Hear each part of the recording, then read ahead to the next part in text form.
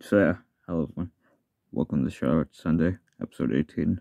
And today's shoutouts will go to Big Buffer Production, Big Buffers Productions, 8-Bit Studios, Number One Thomas Fan Vajira, Hudson Train Guy 12, Trainz, Blake White, NWR 64 Productions, and last but not least, First Prize Productions. So anyways, that's pretty much all, I want to say. So yeah, thanks for watching. Bye everyone. Bye.